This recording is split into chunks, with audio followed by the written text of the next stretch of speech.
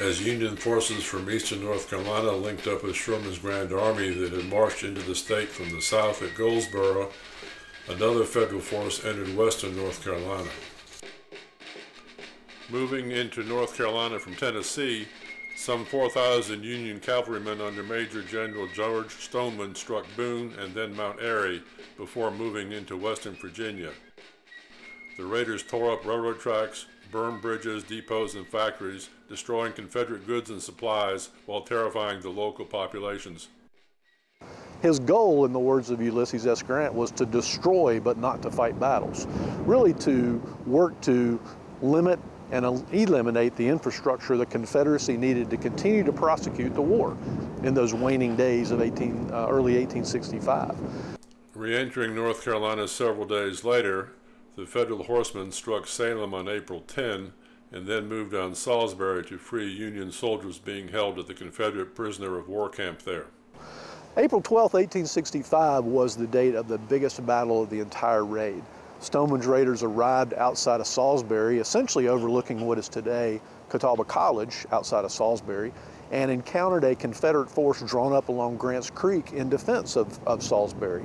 A uh, sharp little fight broke out, um, resulted in a battle that took place over the course of uh, an hour, hour and a half that, uh, that spring morning, and resulted in the capture of Salisbury with Stoneman's Raiders finally outflanking uh, those positions.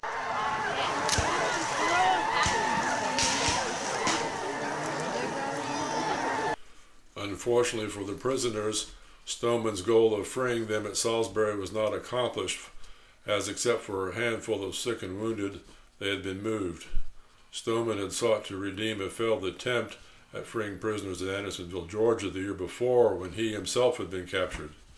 At Salisbury, the Federal raiders did, however, capture and destroy a large amount of Confederate military and medical supplies stored in the town. By late April, the horsemen had stormed through much of western part of North Carolina, including the towns of Statesville, Hickory, Hendersonville, and Asheville. So Stoneman's raid, uh, as it progressed through North Carolina, had a, uh, a, a, large impact on the, the western part of the state that really hadn't seen the war up close and personal before.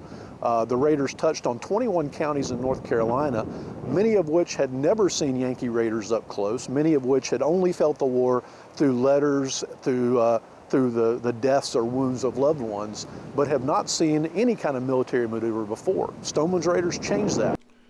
Over a two month period, Stoneman's raid covered some 2,000 miles in four states, making it one of the longest military raids in American history. Although it did not have a significant tactical impact on the war, it had a lasting effect on the towns and people it touched. Numerous people throughout western North Carolina saw the loss of food, saw the loss of, of horses, saw the, the, the, the destruction of personal property like fence rails that went up in the smoke of campfires. And I think they would tell you that Stoneman's Raid really did do what the band suggested and drive Old Dixie down because they made it so difficult on the population to recover from this terrible war because they had seen it up close and personal when Stoneman's Raiders came riding through.